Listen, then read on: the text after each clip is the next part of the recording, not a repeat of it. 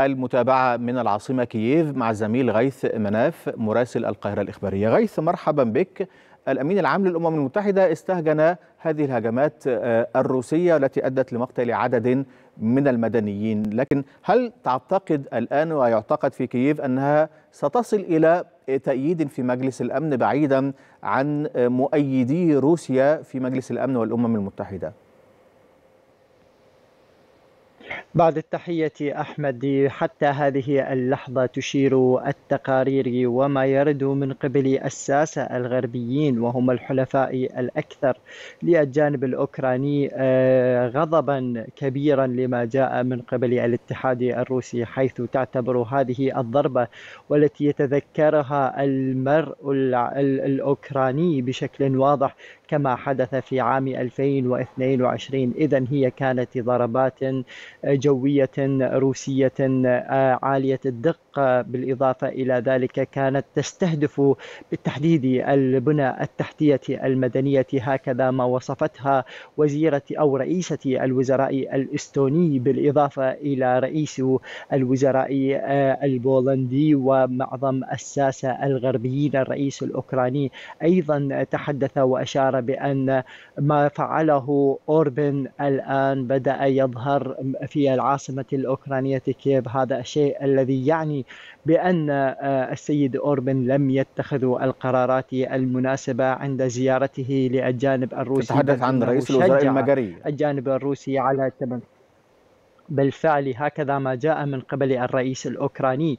حيث أعلن الرئيس الأوكراني بأن زيارة السيد أوربن أو فيكتور أوربن إلى الأراضي الروسية هو شجع الاتحاد الروسي على شن هجمات صاروخية واسعة النطاق.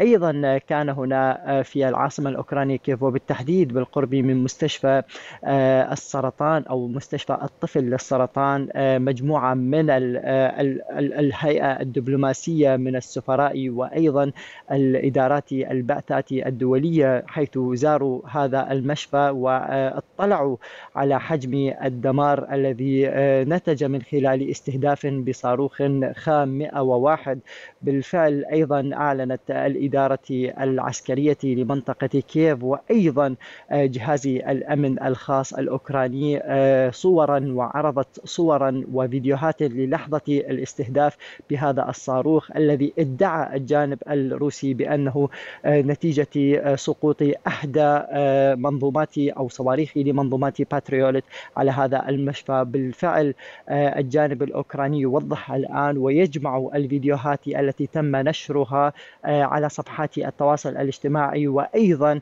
على صفحاتهم الرسمية لكاميرات المراقبة وأيضا لمجموعة من المواطنين الذين وثقوا لحظات هذا الاستهداف. عموما يعني غيث في هذه النقطة ربما أيضا موسكو اتهمت كييف بأنها استهدفت شاطئا في في شبه جزيرة القرم مكتظ بالسياح وقصفتهم يعني اذا الاتهامات بقصف مدنيين متبادلة بين كييف وموسكو. لكن على الأرض الآن غيث يعني روسيا تستطيع الآن قصف منظومات صواريخ غربية في قلب أوكرانيا وفي هذا إضعاف للقوة العسكرية الأوكرانية.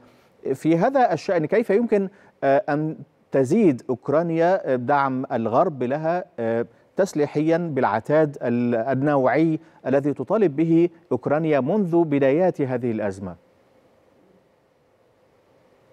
أحمد هذا الشيء الذي ورد من قبل صحيفة بليد الألمانية حيث ذكرت بأن هذا الهجوم الواسع النطاق 38 صاروخا يستهدف الأراضي الأوكرانية أثبتت بأن الدفاعات الجوية الأوكرانية متهالكة أو لا ليس لديها الصواريخ الكافية للتصدي لكل هذه الهجمات. ألمانيا من دورها أيضا أعلنت بأنها سوف سوف تزيد من عمليات الدعم الدفاعي للجانب الأوكراني حيث سوف تقوم بإرسال مجموعة من الدعم الجوي وصواريخ باتريوليت بالإضافة إلى صواريخ لدبابات ليوبارد 2 ومجموعة من الأسلحة الأخرى. إستونيا أيضا قالت بأنها سوف تزيد من عمليات الدعم. بولندا سوف تقوم أيضا بالدفاع عن المناطق الغربية من من الأراضي الأوكرانية في حال وصول الصواريخ الروسية صوب المناطق الغربية والمحاذية